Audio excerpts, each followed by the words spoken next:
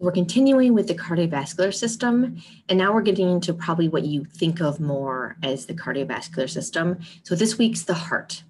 Um, remember the three components of the cardiovascular system are going to be our heart, which is the pump, a muscular pump, the blood vessels, which are all three of these here.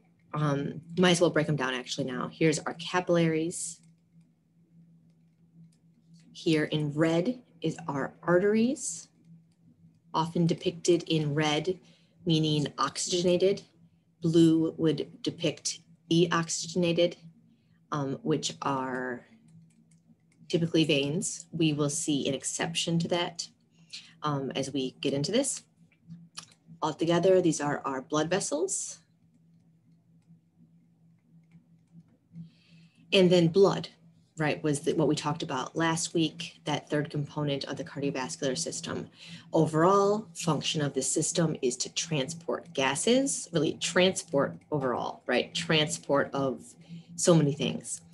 CO2, carbon dioxide, um, CO2 is carbon dioxide, oxygen, glucose, other nutrients, wastes, heat, hormones, etc. In order to do this, we have to maintain blood pressure, and that is done by both the heart and the blood vessels. And we also have to maintain fluid volume, which is neuroendocrine regulated, but also even like last week we talked about um, blood clotting and the form, formation of a coagulation. That's part of maintaining fluid volume as well. So that's where blood really you can see its role in this as well. Of course, also being the thing that transports. Okay, so that should be mostly a review. And now we are, so this week we're going to dive into the heart. Um, we're going to start with heart anatomy, a whole lot of heart anatomy, and um, function of the muscle cells themselves. So the cardiac muscle that makes up heart tissue. Next week, we will go into more regulation type stuff.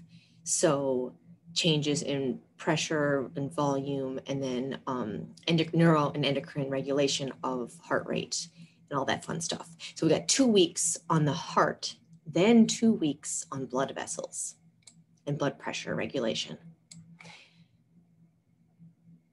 So I will start next video with some basic anatomy of the heart.